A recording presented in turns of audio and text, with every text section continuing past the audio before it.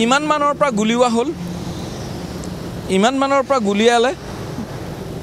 মই কেমেৰাটো আৰু অলপ পিছলৈ যাবলৈ অনুৰোধ জনাইছোঁ। মই সামগ্ৰিকভাৱে বুজাইছোঁ এইফালৰ পৰা বাইকখন আহিলে ইমান মানৰ পৰা গুলিয়ালে তাত গৈ তেওঁ বহি আছিল আৰু বাইকখন পৰৱৰ্তী পৰ্যায়ত বাইকখন আগবাঢ়ি গ'ল এইফালে। এই দিশেৰে বাইকখন আগবাঢ়ি যোৱাৰ পিছত মই কেমেৰাটো আগলৈ আহিবলৈ মই অনুৰোধ জনাইছোঁ।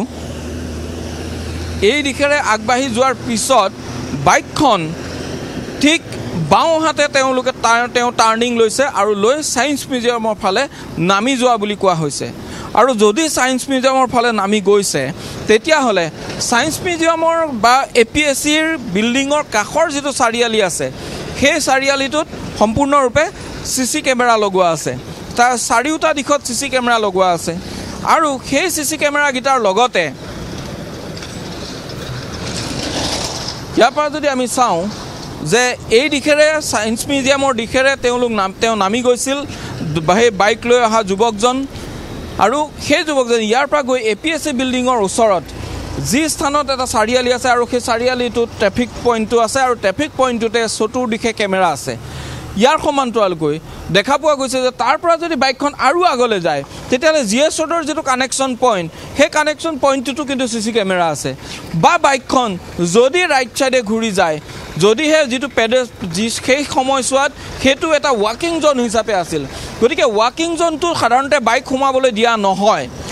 সেয়েহে এ পি এছ চি বিল্ডিঙৰ সন্মুখৰ পথছোৱা যিহেতু ৱাকিং জ'ন হিচাপে থাকে গতিকে ৱাকিং জ'নত বাইকখন সোমাব নোৱাৰাৰ সম্ভাৱনা আছে গতিকে বাইকখন বাওঁহাতে জয়ানগৰ চাৰিআলিলৈ মুভ কৰাৰ সম্ভাৱনা আছে। যদি জয়ানগৰ চাৰিআলিৰ ফালে মুভ কৰে তেতিয়াও কিন্তু কেইবাটাও স্থানত চি চি কেমেৰা আছে। গতিকে এনেধৰণে চি চি কেমেৰাৰ সন্মুখত চি চি কেমেৰাৰ সন্মুখত বাইকখন পৰাৰ সম্ভাৱনা আছে। যদিহে নম্বৰ প্লেটত কিবা লগাই নিয়া নাই বা নম্বৰ প্লেটত যদি ৰিফ্লেক্টৰ নাই বা নম্বৰ প্লেটটো যদি ঢাকি ৰখা নাই। তেনেহ'লে বাইকখন কেমেৰাৰ সন্মুখত পৰাটো এক প্ৰকাৰ নিশ্চিত। কিন্তু এটা কথা যে ইয়াত এই এই স্থানত সেই সময়ত দুজনকৈ আৰক্ষী উপস্থিত আছিল। এই স্থানত দুজনকৈ আৰক্ষী উপস্থিত থাকোঁতে ইয়াৰ পৰা পঞ্চাছ মিটাৰ দূৰত্বত পিষ্টলেৰে গুলিয়াই থৈ গ'ল। সেইটো নাইন এম এমেই হওক পইণ্ট থ্ৰীটোৱে হওক কিন্তু পিষ্টল। পিষ্টলেৰে গুলিয়াই থৈ গ'ল কিন্তু আৰক্ষী থকাৰ কাৰণেও ভয় কৰা নাই। বা সিফালেও চি চি কেমেৰা চাৰি চৌদিশে চি চি কেমেৰা আছে এইটো কইনা ধৰা। এইটো কইনা ধৰা পাহাৰ ইয়াত ইয়াত চৌব্বিছ ঘণ্টা ইয়াত আৰক্ষী ৰৈ থাকে। ইয়াত চৌব্বিছ ঘণ্টাই আৰক্ষী ৰৈ থাকে যাতে যিকোনো সময়ত ইয়াত V I P V V I P ভিৰ হয়। গতিকে V I P V V I P যাতে তেওঁলোকে তাৎক্ষণিকভাৱে ৰেচপণ্ড কৰিব পাৰে তাৰ কাৰণে আৰক্ষী থাকে। গতিকে এনেধৰণে আৰক্ষীৰ মাজত গুলিয়াবলৈ হ'লে যিজনে তেওঁক টাৰ্গেট কৰিছে সেই টাৰ্গেট কৰাজন অত্যন্ত ক্ষোভ বা ক্ষোভৰ অগনিৰ মাজত তেওঁলোক অগ্নিদগ্ধ হৈ থাকিব লাগিব তেনে কিছু আশংকা কৰিছে। গতিকে ইমান প্ৰতিশোধ পৰায়ণতা ইমান ক্ষোভ কিয় হ'ল?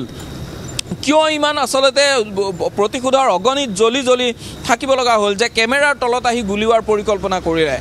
এই কথাবিলাকে আৰক্ষীয়ে গম পাইছে যে ক'ৰবাত নহয় ক'ৰবাত তেওঁলোকৰ মাজত যি যিখিনি ঘটনা সংঘটিত হৈ আছিল যিখিনি পৰিঘটনা সংঘটিত হৈছিল ইয়াৰ এটা কথা স্পষ্ট যে আততায়ী আৰু তাৰ সমান্তৰালকৈ মৃত যুৱকজনৰ মাজত কিবা এটা সংঘাত আছে যিটো সংঘাত অতি সংঘাতটোৰ অতি তীব্ৰতৰ আছিল আৰু যি তীব্ৰতৰ সংঘাতৰ বাবেই তেওঁক আচলতে গুলিয়াই থৈ হ'ল। ইয়াত কোনো অন্য কোনো দল বা এনেধৰণৰ জড়িত নাই বা চুপাৰী কিলাৰ জড়িত নাই।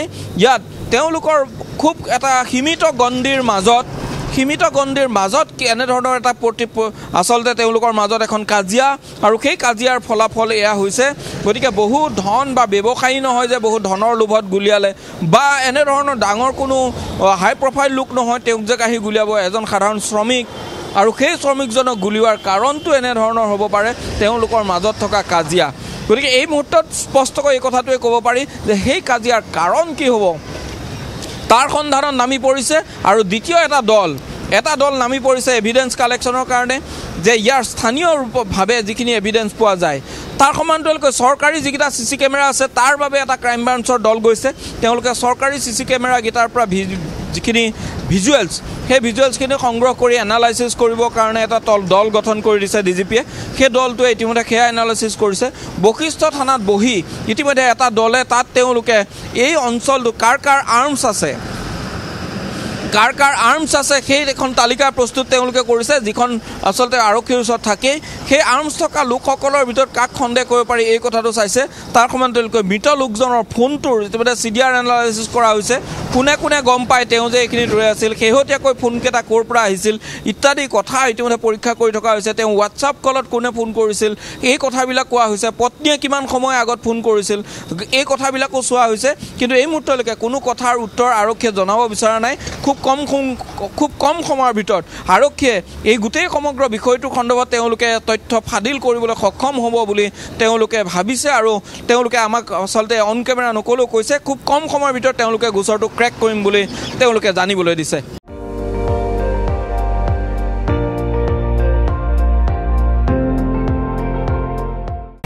আপুনি চাই আছে এন ডি টুৱেণ্টি ফ'ৰ। সৰ্বশ্ৰেষ্ঠ নহয় সৰ্বোত্তমৰ দৌৰ